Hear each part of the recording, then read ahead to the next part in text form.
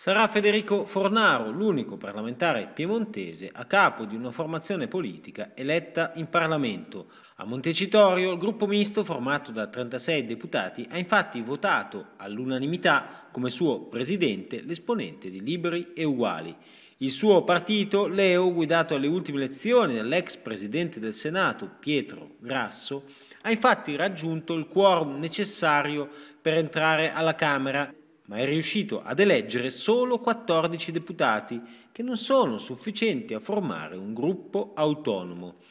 Prassi parlamentare vuole che un partito uscito dalle urne con il proprio simbolo possa formare un gruppo autonomo, ma per questo ci vorrà tempo ed ora Fornaro resta presidente del gruppo misto che con i suoi 36 deputati sarà ricevuto come rappresentante del gruppo misto dal Presidente della Repubblica Sergio Mattarella nelle consultazioni per la formazione del nuovo governo. Nel gruppo misto, capitanato dal piemontese eletto nella circoscrizione di Alessandria, ci sono 14 rappresentanti di Libero Uguali, 5 ex 5 Stelle fuoriusciti dal movimento, 4 di Noi con l'Italia, 4 delle minoranze linguistiche, 3 di Più Europa, 2 di Insieme, 2 di Civica Popolare e 2 rappresentanti eletti all'estero, uno del Movimento Italiano all'estero e l'altro dell'Unione Sudamericana Emigrati Italiani.